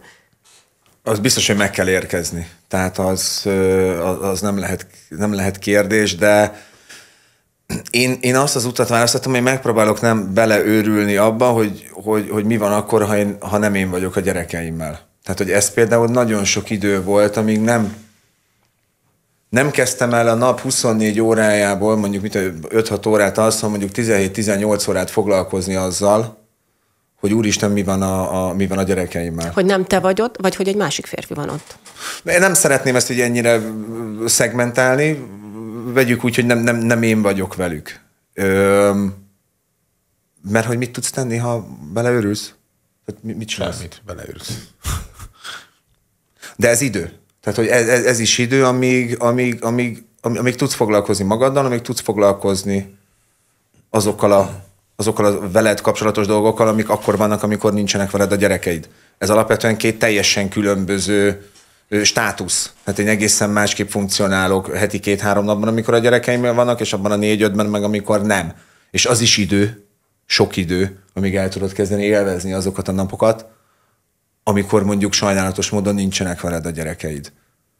Úgyhogy én, én, én, én most itt tartok, hogy, hogy már nem emésztenek a gondolatok, amiket az imént mondtam neked és a hallgatóknak, és tudom, tudom élvezni azokat a napokat, amikor, amikor sajnálatos módon nem vagyok velük. Messzire vezetne az a kérdés, hogy ha arról beszélgetünk, hogy mondjuk nektek a szülők mit adtak útra valóul, ha párkapcsolatról, ismerkedésről volt szó, úgyhogy inkább onnan folytatnám, hogy ti mit fogtok majd adni a saját gyermekeiteknek. Tehát vannak-e olyan karizmatikus álláspontok most már bennetek, amit szeretnétek, hogyha ők ezt akkor majd, amikor elérkezik az életükbe ez a pont, figyelembe vennének. Legyen mindig udvarias, nyisd ki az ajtót, hogyha szakítani akarsz, azt korrektül tedd meg, ne egy e-mailben, vagy mit tudom én, tehát hogy így bármi, ami ez eszetekben, SMS-ben, igen, vagy megüzened a szomszéddal, tehát hogy Igen. azért elég sok opció van. Én, én amit, amit a gyerekeimnek tanítok gyerekkoruk óta, az a tisztelet. Másik felé. Például nálunk is a köszönés előre. Szóval nagyon fontos. hogy Bemegyünk, én hangosan mondom Benéknek, köszönni, köszöntetek. Nem érdekel, hogy szarul érzi magát, vagy lejáratom, én mindig, de ez azóta megvan. És ezt szerencsére ezt jól csináltam, hogy az én nagyon sok helyről hallom vissza, hogy a Benni mennyire illedelmes, mennyire, mennyire tisztelettudó, és milyen egy kilenc éves most, és hogy mennyit lehet vele beszélgetni. Szóval most ide beraknám, el tudnál vele beszélgetni dolgokról. Várom, így- nagyon szívesen. így- Lesz egy így- gyerekszájrovatunk is most. nézné, hogy úristen, hogy biztosom, hogy elszent. Emlékszem, például múltkor nem, nem tudtam hazahozni a kucsitanyáról, a polgármesternél nem maradt, ott aludt náluk, mert mondta, hogy figyelj, ez a gyerek. Gazdaságfejlesztésre volt szükség? Tudok beszélgetni és ott maradt a gyerek, nem nyugodtan, azzal ment. Ami annak köszönhető, hogy te is sok energiát fordítottál mindig is arra, hogy beszélgessetek, sokat legyetek együtt, amit például most a Csuti is mondott, hogy Én az igen, én, én, idő. én, én, én, én mindig nagyon-nagyon sokat voltam a gyerekeimmel. És talán egy kicsit túl sokat is. Szóval, hogy bennem pont, ez, ez a felismerés volt, hogy én egy, úristen, egy, egy, egy apuka, mint hogy nem egy, hát egy ilyen, ilyen főállású apukába mentem át egyébként. Jó, de hát Gabi, olyan élethelyzetetek is volt a Benninél, hogy te voltál a gyerekkel Persze, estig persze. másfél évig? Hát, Kis túlzással? Kis túlzással, igen. Szóval, hogy persze, de hogy, de hogy utána nekem ez a felismerés is itt volt, hogy úristen, hogy oké, okay, ez tök jó, csak hogy hol vagyok én? És hol vannak az én álmaim, meg hol vannak az én vágyaim? Mert hogy, mert hogy tudom, hogy sokkal több van bennem, meg tudom, hogy még abszolút nem értem el azokat a célokat, amiket szeretnék az életben, és hogy és ezek hol vannak. De, de, de a gyerekeknek meg ezt próbálom mindig, illetve hát ebben a, ebben a táborra, és bocsánat, hogy mindig így a táborhoz lyukadunk ki, de hogy én például ebben a táborban próbálok nekik, nekik a gyerekeim által is, mert, mert, mert a Benny meg a Milla, a Benny az ugye első évtől kezdve ott van, ez most már hár, harmadik év, éve megy, a Milla pedig a második évtől kezdve az összes táboromban ott vannak, szóval totális ilyen ön, önjárók, és, és ott próbálok nekik nagyon-nagyon sokat átadni a gyerekekkel kapcsolatban. Szóval, pro, szóval pont ezt, hogy a gyerekeknek, a mai, a mai gyereknek én pont azért erre jöttem rá, és azért csináltam ezt a tábort, hogy a mai gyerekeknek nincsen, nincsen klasszikus gyerekkora, ami nekünk volt. Hiányoznak az élmények, a kapcsolatok, érzelmek, bezárkózunk, puff. És itt ezt megkapják. Szóval én olyan közösséget formálok itt a gyerekeknek, ami, ami nem csak az van, hogy gyertek le, fizessétek be, és akkor elengedem a kezeteket, hanem úgymond ilyen utógondozás, hogy télen is szoktunk találkozni, akkor elmegyünk egy étterem, pont egy közös barátunk, a Baláshoz elmegyünk, akkor gyerekek a pizzát csinálnak, szédességet sütnek, találkoznak.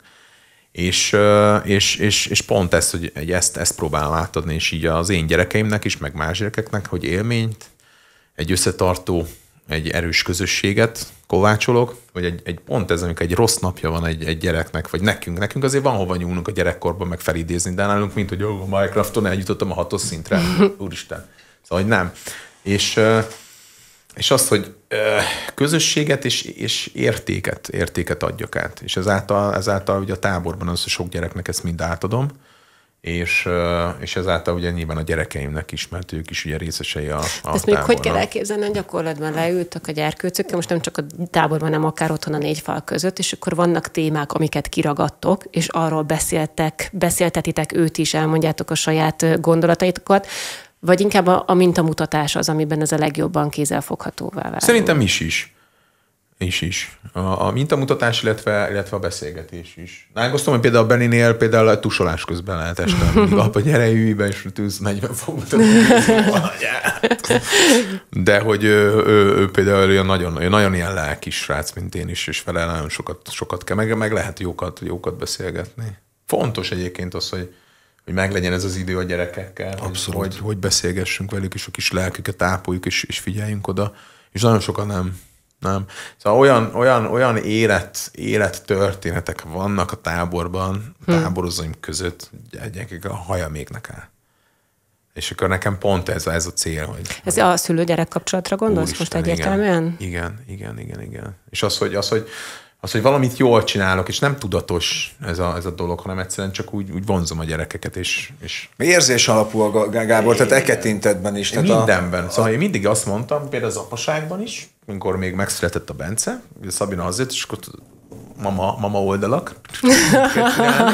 Ezt így két hétig így néztem, és akkor mondom, jó, laptop, eldo, oké, okay, érzésből.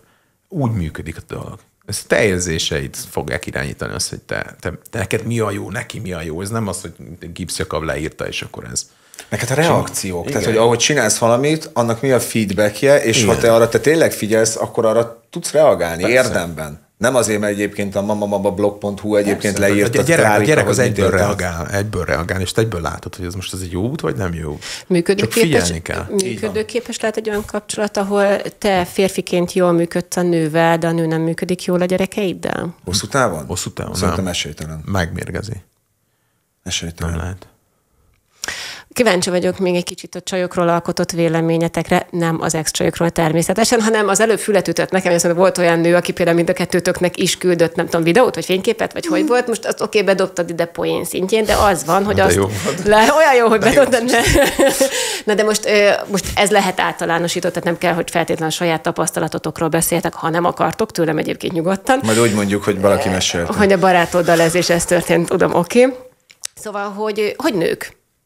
Általános a kérdés, a mai kor női, de azért nagyon jól tudjuk azt, hogy picit a csajokba súlykolják azt, hogy hogy kezdeményezőbbek legyünk, hogy, hogy nagyon kiállni magunkért, és hogy, hogy, hogy nem elférfiasodni, de azért most mi kezdünk öntudatunkra ébredni. A férfiak azok szeretik azt állítani, hogy szeretik a határozott, intelligens nőket, akinek vannak céljaik, de mégis azt látjuk nagyon nagy arányban, hogyha ez valóban megtörténik, akkor a férfiak, férfiak funkciójukat vesztik. Most funkciót értsd természetesen. Klasszikus férfi funkciókra gondolsz. Igen, tehát mondjuk az, én azt látom, hogy ebben gyengévé válik egy férfi, ez de akkor miért igaz. mondják azt a nőnek, hogy legyél ilyen? Vagy mi, azért, mitől válik azért, a férfi gyengévé? Figyelj, ez a ritkábbik egyébként, amit mondasz, hogy egy férfi arra vágyik, hogy egy nő nek legyenek elképzelései, határozott legyen, céltudatos. céltudatos. Legyen. Ez, ez a kis... Ez, ez, ez, ez kamu? Ez, Szerintem igen. Én csak azért mondom, hogy nem kamu, mert hogy én például nem, abszolút nem kamu, ilyen itinerek mentén én is keresem. Ezt, csak hogy azt mondom, hogy többségén majd nagyon sokan ezt mondják, de szerintem ezt kamu, nagyon, sokan, nagyon sok férfi, és amit mondasz, hogy, hogy megszűnik ilyenkor létezni, de nagyon sok férfi meg tényleg ez van, hogy a nő az csak nő legyen, és akkor csak dísznövény. dísznövény. És nagyon sokan egyébként így, így választanak párt. Én nem így, meg Zacsuti sem így, így, így választunk, de itt egyébként a nőnek kell érezni ezt a, ezt a határt egyébként, hogy, hogy ne lépjen át. A, azt a határt ne lépje át, amikor te már nem tudsz funkcionálni férfiként. Mondjuk ez a mindennapok sodrásában Szóval hagyja meg azt, hogy lehet tudatos, lehet, lehet, lehet, lehet, meg, meg dolgozzon. Én mindig azt mondtam, hogy egyébként nekem például olyan pára sose volt szükségem, aki otthon ül Szóval én, én mindig, mert hogy az, az, az nem... Hát, az is... tudsz venni az obiba, tehát igen, egy dísznövénytelen, akkor szép venni. fehér kavicsokkal, szóval és akkor ő mindig tök szép. Meg én azt gondolom, hogy, hogy pont ez a szép a dologban, hogy ha, ha mind a ketten mind a ketten egymás mellett az álmaitokat, a céljaitokat, azokat el tudjátok érni. Egymást építve. Egymást építve közösen, és ha már nem építitek egymást, akkor, akkor az már nem jó. Akkor De mondjuk egy túl önálló nő mellett tényleg elveszítheti a férfi magából, magában azt, hogy hogy ő, amitől igazán férfinak érzi magát, mert azt érzi, hogy ő itt szükségtelenné válik. Miközben, és csak mondom zárójelben, de hát, hogy megint most csak a saját nevembe kéne nyilatkoznom, hogy Persze megoldok egy csomó mindent, képes vagyok rá, megcsinálom, de szükség lenne az odabújásra, a törődésre, arra, hogy amikor a, az élet nagy kihívásával kell szembesülnöd, akkor valódi társként ott tudjon melletted lenni, de ez meg már túl lelkisnek tűnik sok esetben a férfiaknak is, már el se jut odáig, hogy ez kiderüljön, hanem azt mondják, hogy ú, hát ez a csaj igazából nélkülem is mindenre képes, minek kellene én ide. Szerintem alapvetően az a, az a férfin múlik, hogy milyen hatások meglétekor veszíti el az önmagába vetett férfiúi hitét. Ha a férfi azt gondolja magáról, hogy attól férfi, mert ő a főkereső a családban, és úristen, most a feleségem, barátnőm, éppen aktuálisom többet keres, mint én, akkor én már nem vagyok férfi, alapvetően szerintem akkor a férfiben keresendő a hiba.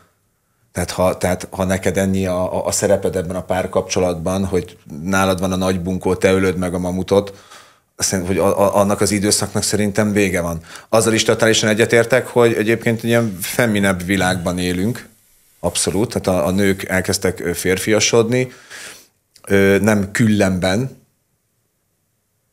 bár bizonyos értelemben véve talán még, még, még az is egyfajta trend, hanem önmegvalósításban. Most elnézést, hogy veled példálozok, de hát Nyugodtan. hány olyan önálló nőt ismersz, Gabi, te vagy én, aki egyedül neveli a gyerekét, és közben három-négy munkahelyen dolgozik egyszerre, és minden nap négy órakor kell.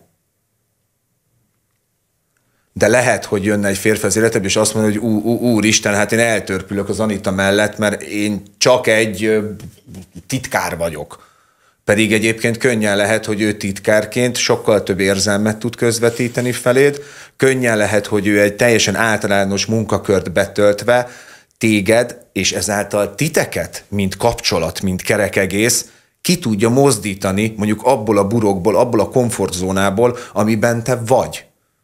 Mert pontosan tudom, hogy órára órára nagyjából megvannak heti hét napból mondjuk ötször a hétköznapjaid, vagy a hétvégéid. Ilyenkor hiányzik. Tehát, hogy nagyon sok a környezetemben egyedülálló rendkívüli nőt ismerek, és hát amikor összedugjuk a fejünket, akkor azon szoktunk tanakodni, hogy... Azok milyen beszélgetések. Tudod képzelni ott a játszótéren a padon, a homokozó mellett. Tudod, azért mondom, mert hogy nagyon sokan vannak így a nők, és a tanakodás fő rész, ez többnyire ez szokott lenni, hogy azt látod, hogy ezért ennek is van párja, annak is van párja, rideg tartáson van a férfi, nem is szereti, álca az egész, nem tudom, úgy beszél vele, ahogy mégis az, van, és igen. akkor ott van, te, vagy inkább azt mondom, hogy ott vannak ők, akire azt mondom, gyönyörű vagy, intelligens, okos, kedves, humoros minden. Imádlak, mint barát, persze nem vagyok ott, hogy hogyan funkcionálj kapcsolatban, és nincs párja, nem egy-két hete, hónapja, évek óta mondjuk az adott nőnek. És közben hát ott, meg ott van az önmegvalósítós, van. igen, tehát hogy ilyen hát nem, hát szerintem, ha valakinek évekig nincsen. Hát most párja, akkor azért... Mondjuk egy évet essék, és Jó, akkor egy év nem az olyan. nem, fe, azért azt gondolom nem, de valakinek már négy-öt éve nincsen, nincsen párja, akkor ott valami azért, azért gigszer van, valami, Igen, akkor valami rosszul van bekötve. Valami rosszul van ott már bekötve, de ez vice versa a férfi és a nőre is egyébként igaz. Szóval hogy nem. De igen, most, hogy mondod, hogy neki nincs pár, igen, mert hogy néha meg átesnek a nők szerintem a túloldalra egy kicsit.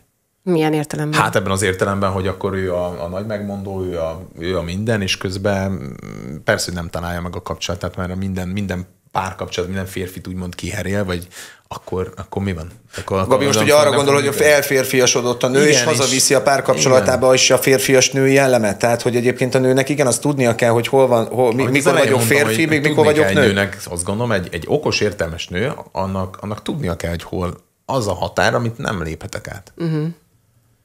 Meg szerintem nekem mindig édesanyám mondta, ezt, ha is tudod, édesanyáknak mindig igaza van.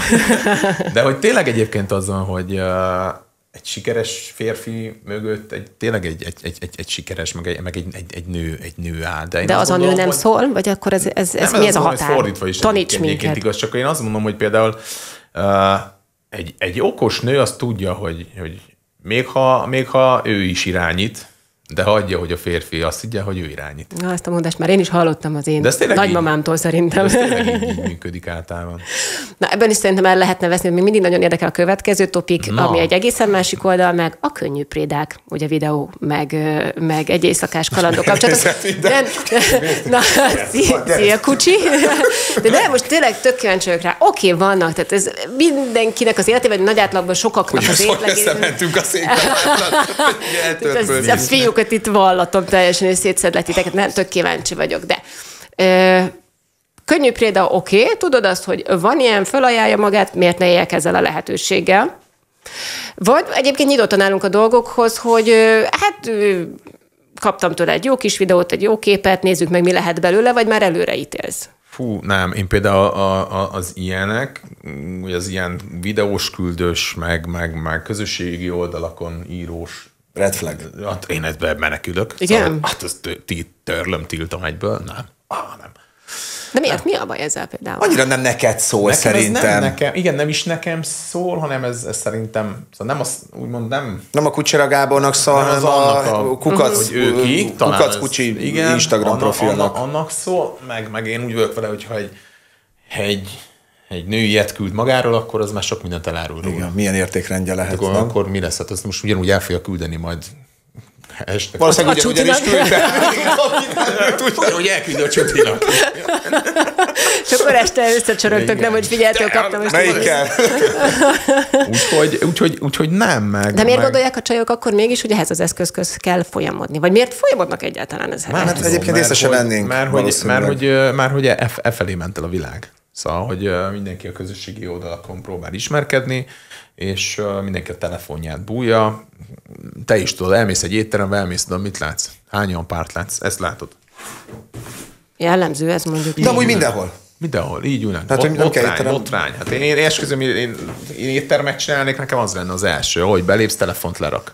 Hmm. És leülsz, és Nálatok nincs is a tanyás semmi. nálunk nincs, nálunk kütyümentes, nálunk nincs telefon. Még wifi sincsen. Hát az van. De nálunk például az van, hogy fél nyolctól nyolcig kapják vissza a gyerekek a telefon. Uh-huh. És nincs tovább. És nincs. Fú, nekem nagyon rá kellett kényszerítenem magamat egy időben, de fontos volt a felismerés, hogy baráti beszélgetésekkor sincs már ott a telefon. Ne pittyenjen, ne jelezze, mert azért vagyok ott, hogy a másikkal Muszáj, beszélgessek. igen, Tehát, és- hogy, de megugrottuk, én ezt nagyon szeretem, viszont... Nekem is néha tök nehéz, hogy a táborban azért nálam ott van telefon, mert hogy kell. Fotót csinálják a gyerekekről, videó, de hogy nekem is menni a tököm ki, hogy miért van itt. És így Ja, a gyerekek meg azt mondják, hogy na de kucsi, neked ott a telefon a kezedben, nem kütyümentes, mondom, igen, az, de mondom, nekem csinálom a fotót, intézem a tábordokat, nehéz. hogy ez. feladat. Én is inkább leszoktam rakni, vagy Igen. és akkor megpróbálom. Nálam a gyerekeknél van így például. És nem tudatos, hanem tök, tökre jött egyébként ez az érzés, hogy észre se veszem, ha hívnak, nincs is a közelemben egyébként a telefon, És tényleg csak az van, hogyha egyébként a kislányom ki akar festeni, ki akar lakkozni, akkor egyébként lakkozza ki a körmet. Ha a gyerekem a faház tetejére akar mászni, akkor irány a faház teteje. Ha este hallja a tücsköket, hogy ciripelnek a kertben, akkor ki kell menni még fürdés után, meg kell keresni a tücsköt. Ha füvet nyírunk, akkor füvet nyírunk. Rohadtul nem kellenek a telefonok. Milyen jó kikerültük a prédákat. A Jól csináljátok egyébként, igen. De röviden megadtátok a, a választ, és egyébként nekem nagyon szívet melengető azt hallani tőle, én nagyon egyszerűen elmondom ezt a préda kérdést. Mind a ketten szerintem bőven túl vagyunk már azon, hogy prédánkat keresünk. Bőven mind a ketten túl vagyunk azon a korszakunkon, amikor ez a fajta préda hajtás, vadászat, megélése ennek az egyébként teljesen ö, értelmetlen és interakcióban szegényes pillanatoknak, nincs rá szükségünk. Tehát, hogy nem leszünk tőle boldogabbak, nem leszünk tőle kiegyensúlyozottabbak, nem lesz tőle egyébként jobb a, a, a, a, az együttlét utáni, 10 perc utáni időszakunk, egy másodperce sem. Egyikünk sem arra vágyik, mind a ketten arra vágyunk, hogy szeretve legyünk, hogy fontosnak érezzük magunkat a másik mellett, és mind a ketten arra vágyunk, hogy az a fajta belső egyensúly, az az érzelemben gazdag ö, ö, lelkünk, az ki tudjon teljesedni egyébként valaki mellett, és ezt egyébként egy videós küldös, mit tudom én milyen profilú valaki, aki a szia után egyébként rögtön egy négy perces ö, ö, reklámanyagot küld saját magáról, egyszerűen mi nem ez a fajta csávok vagyunk, akiknek erre most már szükségünk van.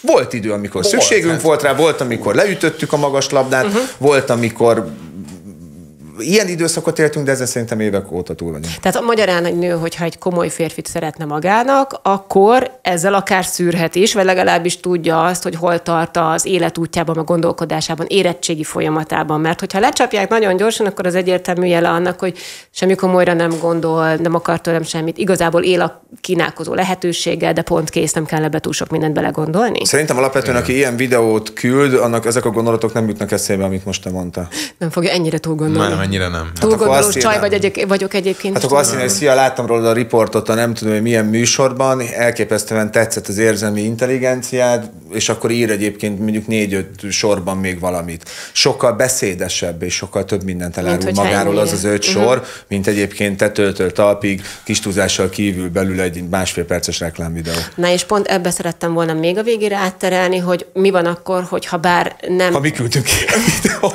Na jó, nem a diktékekről, arról meg már meg nem, hogy még visszatérve erre azért, azért, azért ennek is azért, azért nagyon megvan a veszély azért, mint azért így mind a három ismert emberek vagyunk, azért, azért nem egy-két kamu oldal van, nem egy-két kamu fotó, szóval hányan hallasz, hogy bedőlnek ennek a dolognak, és akkor ú, reagálnak vissza, azt másnap már ott olvasod fönt a, uh-huh. fönt a bulvárba. Úgyhogy én azt gondolom, hogy szerintem ebből a szempontból tök, tök nehéz dolgunk van nekünk. Nekem például mindig azt mondták a barátaim, hogy milyen könnyű dolgod van, milyen könnyű csajozni, mert hogy ismert vagy. Hát mondom, figyelj, kurva uh-huh. nehéz. Uh-huh. Nem, nem, épp az az, hogy nem, mert nem tudhatod, hogy hogy ki mit miért akar, ki mit vesz föl, ki mit videóz le, mert most tényleg átmentünk ebbe a szokásba, hogy mindenki videóz mindent, Abszolút. és hogy így tényleg nem tudsz elmenni majd normális egy helyre, valakivel találkozni, aztán mit tudhatod, hogy hogy mi a valódi célja. Szexualitás közben mit fog fölvenni rólad, aztán, aztán kirakja. Hát most azért láttunk egy-két ilyen. Igen, hát az órákat le kell venni a kezedről, ezt Há, igen. Jó, de nem akarom, hogy elvicceljétek, várj. De hogy amit... Neked amúgy kell, igen, Jó, neked a én kézláb. Kézláb mindenhol. Hát, teli hát. Szóval, hogy én, se tagadhatnád, hogyha én vagy az. Szóval, hogy én, én tényleg, mint amit a, ebbe elmondtam, hogy, hogy, hogy abszolút nem erre erre vágyom már azt, hogy, azt, hogy azért most, most, most leszek 41 éves, már tudom, hogy 30-nak nézek ki, főleg a hallja, de hogy, de hogy azért én azért 26, 7, 8, 9, 30 évet leúztam edzőtáborba, azért... Már mindent is láttál. Már mindent is láttam, mindent Figyú, is Bennébe szoruljon az a kérdés, hogy azt mondjuk, hogy jó, kaptok képeket, videókat, és az igazából semmit nem jelent, meg nem szabad komolyan gondolkozni benne, de mi van a női kezdeményezéssel? Én, Tehát, hogy... én, én nagyon szeretem, hogyha a nő kezdeményez. Jó, de most nem arra gondolok, hanem az ismerkedésre. Tehát én most még egy szinte Ha, ha nő űr, Igen, ír tehát, ránk, hogy mondjuk ránk. Azt mondta, nő ír ránk például, erre hát Igen, gondolsz? vagy mondjuk oda, ha oda megy, nem tudom, bevásárlás közben, és ő udvariasan nyit felé, de szeretné megadni az esélyt annak, hogy mondjuk meg tudjatok ismerkedni, vagy ez megint csak egy férfi privilégium, hogy hát az ismerkedés az, hogy nekem te tetszel, elhívjalak randira, stb. stb. elkérem a számodat, az az én felelősségem, feladatom. Hát én szerintem meg igen, ez is nagyon összemosodott ez a, ez a dolog. Egyébként uh, inkább a nők kezdeményeznek. Szerintem most már. Igen? Aha, igen. Én Nálam ez nem red Én olyan béna vagyok ebben, hogy Én ezt nem tudom, én, jó, én mondjuk, én nagyon béna vagyok kezdeményezésben. Jó, de Gabika, neked nem is nagyon kellett. életemben nem kellett kezdeményezzek, szóval, hogy így életemben soha. Ez most komoly. Esküszöm. Nem tényleg nem, nem nagyon. Tehát tényleg nem nagyon. Tényleg. Úgyhogy így, így nagyon én nem is tudom, hogy, hogy mit csinálnék, hogy oda kell menni. Szia! És akkor nagyon, nagyon sokszor a férfiakban előjön az, hogy úristen, ez biztos, hogy szardu, szarszöveg, szarduma, ebben vagy biztos ki fognak nevetni, akkor inkább nem mondom. És hát nagyon jól tudtam szemmel verni, vagy szemezni, és akkor, és akkor ebben mindig elértem, elértem azt, amit, de, de tény, hogy egyébként a férfiak szerintem mm, kevesebbet kezdeményeznek most már, és inkább tényleg az van, hogy a, a nők azok, akik rámenősebbek. De rámenőség ez, vagy egyszerűen az van, hogy tudjuk, hogy ezt kell mondom nektek, hát olvastam egy könyvet mikor erről. Ki, igen, mikor ki, hogy, hogy jön oda? Igen, tehát az, az a könyv lényege, hogy hogyan, megtanít, hogyan tanítsa meg a nőnek, hogy hogyan kezdeményezzen. Ugye ezt nekem könyvből kell megtanulnom. Ideges voltam, amikor olvastam, és mondtam, hogy ez nekem nem fog menni, tehát teljesen zsigereg elutasítom, és alkalmatlan vagyok rá. Miközben ezek szerint nincs ezzel feltétlenül baj, de ugyanezek a félelmek szerintem a nőkben is benne vannak, hogy ha oda megyek, mit mondjak, hogyan kezdjem el egyáltalán, meg nem fog-e rámenősnek gondolni, könnyű prédának. Ez nagyon sok minden túl van gondolva egyébként Igen? szerintem. Na, Igen, mondtam, ha azt érzed, hogy gyere oda, akkor gyere oda. Ha te azt érzed, hogy neked oda kell menni, mert van egy belső hangod, egy intuíció, hogy úristen, én ezt a nőt nem hagyhatom kisétálni az étteremből, nem hagyhatom felszállni a buszra, akkor igenis tessék oda menni. Mi, mi, mi történik? Tehát ne az legyen már a cél, hogy, hogy fú, majd megkeresem egyébként a közösségi médiában. Mert Hát hogy a egyébként nyilván sokkal egyszerűbb. Arc nélkül, reakció nélkül, kezdeményezni mondjuk egy sziával, vagy mondjuk úgy, ahogy én csináltam, hát ez ilyen végtelenül bagatel és egyszerű és óvodás módon, de hát összejött, végül is sikerült, ugye a mostani Ez, párkapcsolatban a- ez az a én kulcs, voltam. szia. Ezt lesz, Nem, egy, fo- egy, egy fotó, szia, és egy tűzemoji, egy tűzemojit még ír mellé, ha olyan a fotó, azt nagyon szeretik. Jó, jó. Nem, én például Szia, egy, egy, Ez igen. egy ilyen... Ez még nekem is.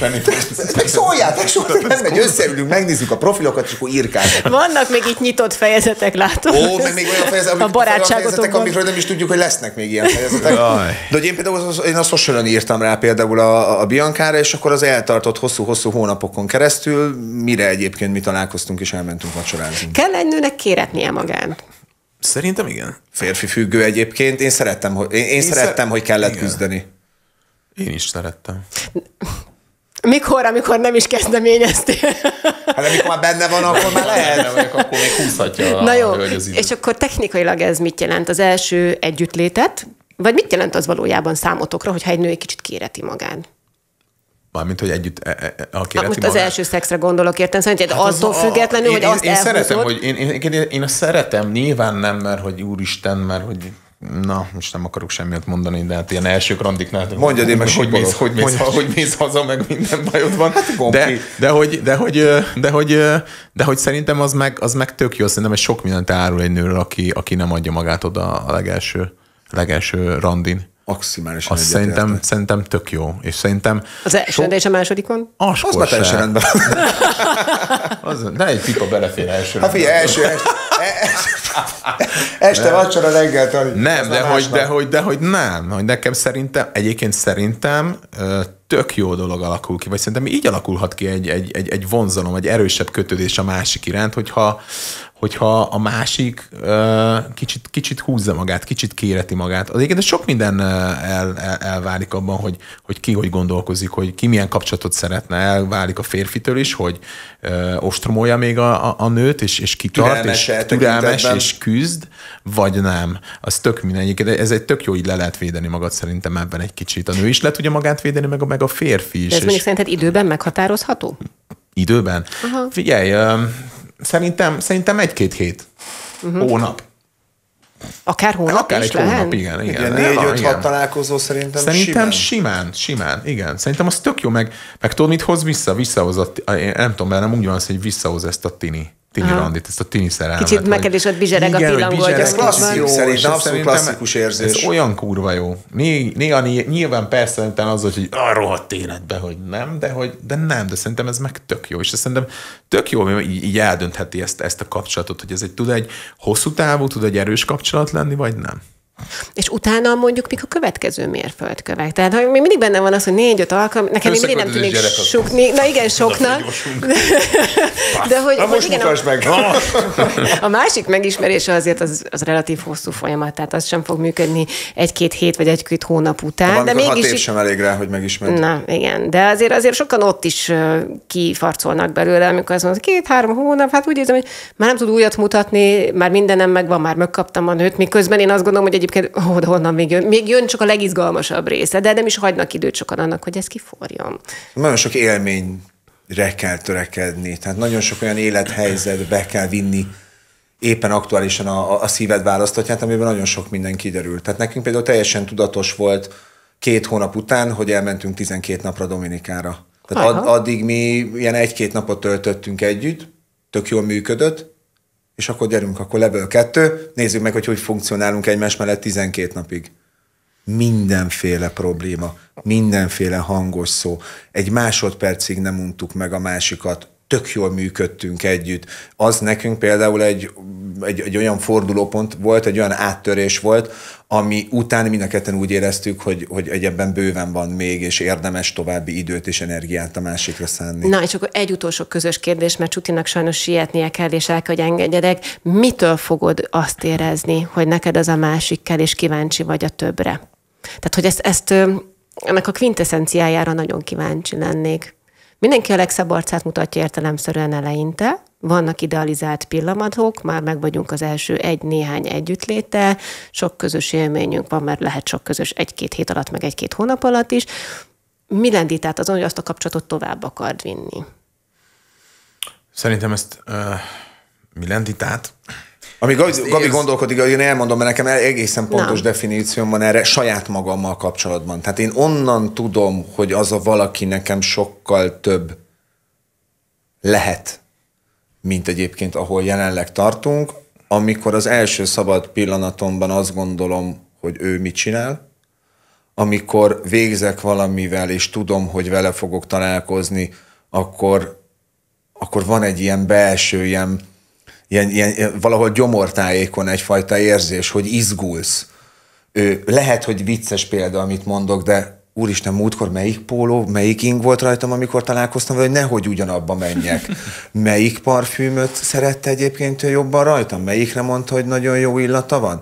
Amikor elkezdesz egy picit extra mód odafigyelni arra, legalábbis én, hogy várja, mit mondott múltkor, hogy ő nem szereti, a nem tudom, micsoda, akkor inkább ilyen helyre menjünk. Amikor időt és energiát szánsz arra, hogyha két nap múlva találkozol vele, akkor ne csak az legyen, hogy gyere, ülj be a kocsiba, és menjünk át, és nézzünk valamit a, a valamelyik videó megoszton, vagy streaming szolgáltatón, hanem amikor elkezdesz azon gondolkodni, hogy menjünk el ide, mert mondta, hogy nagyon szeretné megnézni a Tatai várat, vagy menjünk el egyébként Balatonfüredre, mert azt mondta, hogy elképesztően vágyik arra, hogy, és amikor ezek a gondolatok vannak bennem, azt megelőzően, hogy találkoznék vele, akkor én pontosan tudom például arról, hogy, hogy, hogy igen, ez, ez, ez sokkal több. Na jó, de ez kell a másik fél is. Egyértelműen. Abszolút. Mert hogy Egyértelműen. hiába te érezhetsz ilyet valaki iránt, és, és tényleg megteszed, ha az nincs viszonozva. Egyértelmű, de hát ideális esetben ugye akkor gondolkodunk hosszú távról, amikor a másik felől is vannak ezek a fajta visszajelzések. Ezek, erre szerintem nincsen szabály. Nincsen, de egyébként tényleg abszolút ez, hogy én szerintem a, a, a, a másiknak a, igen, oda, odafigyelés, a másik megismerése, és tényleg az, hogy, hogy,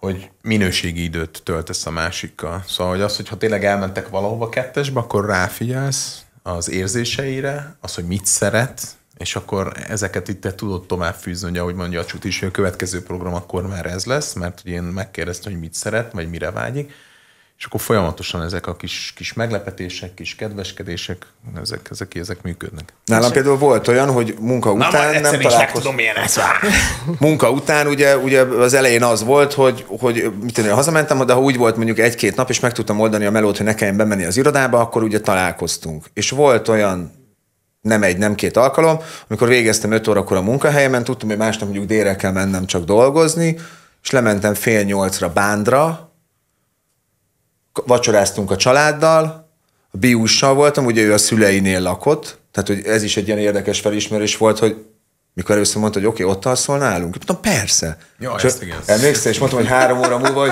de várjál, te a szüleiddel élesz. Mondom, hogy reggel majd megyek le alsógatjába kávézni, vagy egy törülköt. Úristen, mit fognak szólni? De hogy annyira megacukik a, a, a szülei, és olyan, annyira ilyen, ilyen az, ez egész ilyen good vibe az első másodperctől kezdve, hogy kocsiba ültem, leértem fél nyolcra, vacsoráztunk egyet, lefeküdtünk aludni, és másnap felébredtem, és mentem dolgozni. Csak azért utaztam 300 kilométert, hogy mondjuk azt az estét velük töltsem. Legyen ez a végszó, mert imádlak hallgatni titeket, tehát hogy nagyon jól esik. Egyrészt, hogy ennyire nyitottatok, nyitottak Ez voltatok. jó hogy ez van. Másrészt meg egyébként elmennék. örülök nektek. Na, Kucsi, neked azt kívánom, hogy történjen. Gyere velem bátba, tesó, nagyon jó csajok vannak ott a környéken. Csuti, neked azt kívánom, hogy ez tartson ki nagyon-nagyon Nagyon köszönöm, hosszú időn keresztül. dolgozunk. Kucsinak azt, hogy történjen meg velem, és örülök neki, hogy itt voltatok, és köszönöm szépen azt, hogy beszélgettetek. Velem. a Egy élmény volt. Sziasztok, sziasztok. Ja, és iratkozzatok fel a csatornára mindenképpen. Várunk titeket jövő héten is. Hello! Hello. Hello, hello.